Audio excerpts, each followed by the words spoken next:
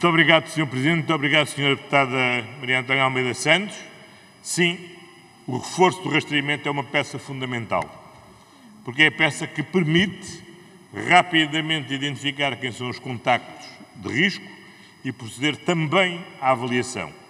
Como também é uma peça fundamental para tentar identificar o local de contágio, para tentar ir à fonte daquela, à raiz daquela cadeia de contaminação, para depois poder alargar o combate e permitir restringir o mais rapidamente possível e quebrar as cadeias de transmissão.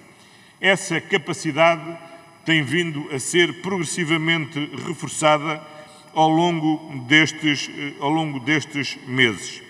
E já tivemos momentos muito difíceis, onde tivemos mais de 30 mil inquéritos por fazer, por exemplo, em meados de novembro, e agora, numa situação bem mais difícil, temos um número muito elevado de, de, de inquéritos por concluir, mas a serem concluídos num prazo entre 48 e 72 horas, de forma a podermos responder mais rapidamente possível a esta necessidade.